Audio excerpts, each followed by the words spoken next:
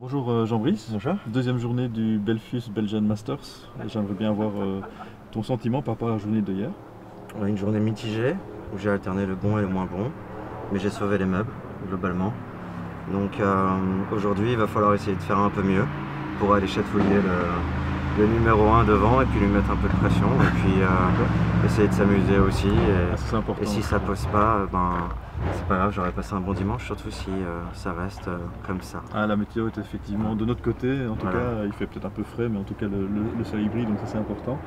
Et, euh, et tu as un souvenir sur un trou spécifique, un bon souvenir sur un trou spécifique hier?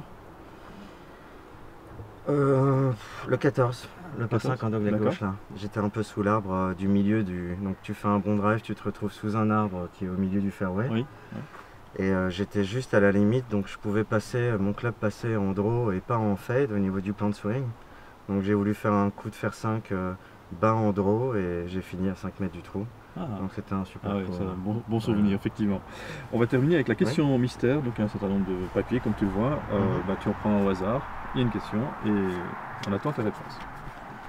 Alors, si tu pouvais avoir un super pouvoir, lequel aimerais-tu Bon bah il serait pas vraiment lié au golf, ce serait de voler. hein, donc, euh, Ah, d'accord. voilà. Eh ben, écoute, je te remercie pour cette réponse. Je vais te laisser prendre le départ et je te souhaite une excellente journée. Euh, toi À aussi. bientôt.